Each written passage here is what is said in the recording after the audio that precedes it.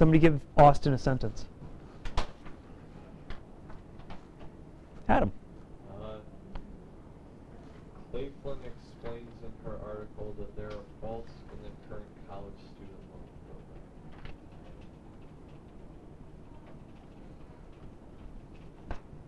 What is it? Faults in the Faults current. in the current college student loan program.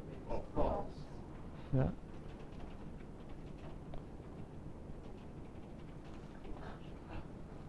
Blah blah blah. Don't worry about spelling, don't worry about punctuation. What we're worried about right now is sentence structure and the words are intact, so that's just fine. Uh, thank you, Adam. You want to try it? Just a question. Yeah. is Cleveland like a name? Yes, the name of the author of the article. Okay.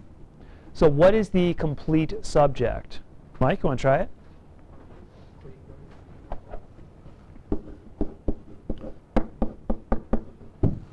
What's the complete predicate?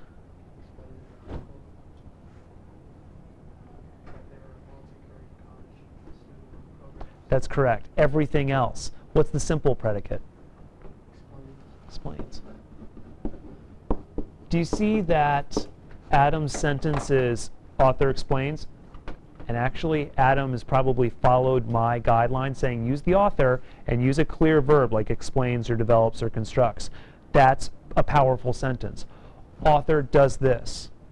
And then what is the author explaining? Well, all that's thrown into the predicate. We'll talk about diagrams of that later. But Cleveland explains. That's the basic statement. Next. You can make them up or draw them from what you've got there. Go ahead, Allie. Um, the crowds at both high schools scream with passion for their team. Scream with passion for their team.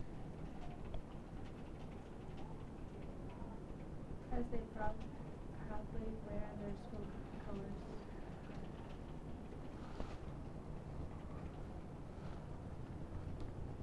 This one presents an interesting little difficulty. Uh, let's. They're more than one. Very good, Allie. Allie's identified that there are actually there's more than one pairing because this is not a simple sentence. Do you know what kind of sentence this is? Close, complex. It's a complex sentence. You'll understand the difference between those two later. But it's a complex sentence. So Allie has identified for you that there are actually two subject-predicate pairings. You want to try the first one, Jacob? Su- subject. Subject first. What's a subject that you identify? The crowds at both high schools. That's correct. And what is the simple subject there? Crowd. Correct. What's the um, the predicate? Scream with passion for their team. Simple. This word as, you'll learn later, is a subordinating conjunction, and it's a conjunction that joins two entire sentences.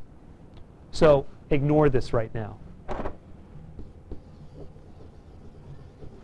Don't worry about it, and let's look at the second su- subject predicate pairing. Jessica, try it. Um, they is the subject, Yep. and then how they wear their school colors. Very good. And what is the verb in that case?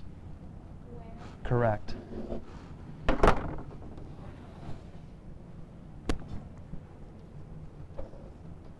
Hey, there we go.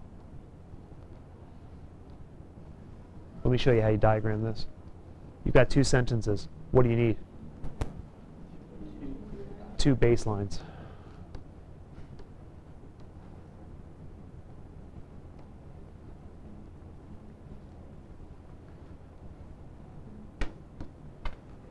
Uh, okay.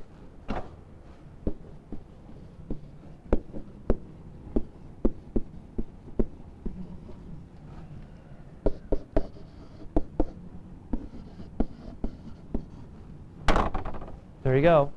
Is there more? Yeah, there's a lot more. We have to join those two in a certain way. We, um, we have to figure out all the rest of the words. That as, that subordinating conjunction must be figured into the diagram. However, we can worry about all that later. What we're doing right now is identifying subject and predicate. And Allie, exceptionally, good job, identified that you've got two. So don't forget that some sentences are actually two or more sentences joined together. And Allie's correctly identified. All the ones that you had in your exercises for the Warriners were simples. Even though they looked like they were long and complicated, they wrote them as simple sentences. And these sentences, while helpful, are not exactly very exciting. Make some up. Give me a sentence. Make one up. Adam. The dog jumped off the Sears tower. Nice.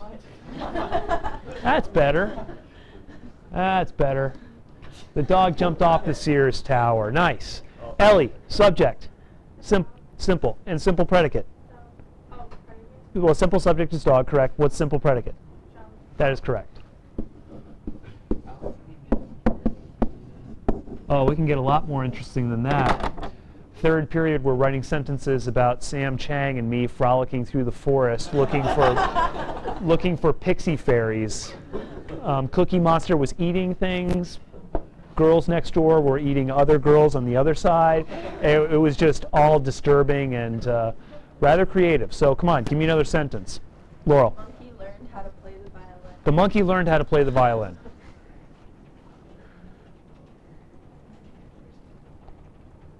Nice.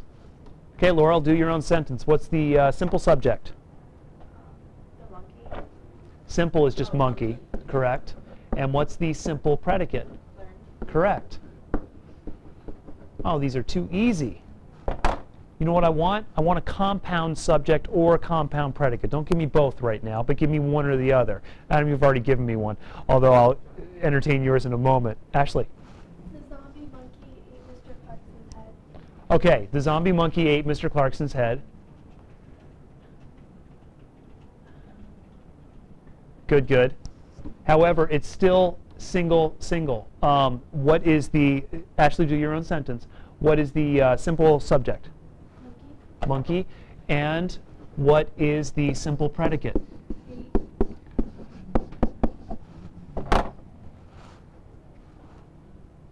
Make him do something else. Yeah. The monkey zombie ate Mr. Clarkson's head and finish the sentence.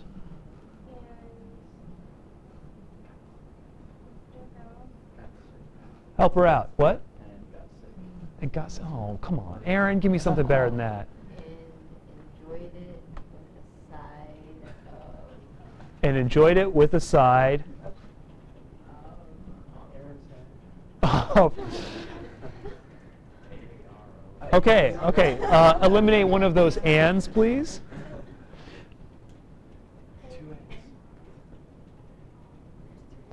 Let's eliminate one of those ands, please. What are you doing? All right, nice. Now, we now have a compound predicate. We don't have a compound subject, we have a compound predicate, which means we have two verbs, ate and what's the other verb? Enjoyed, correct. So this presents a difficulty. Some of you might say, oh, we should do it like this, right? Um, you used a slash in your multiple choice answer, so shouldn't we do it like that? Uh-uh. Why? Because that's not very easy for us to diagram further structures that we need to diagram. So I'll show you how to do this.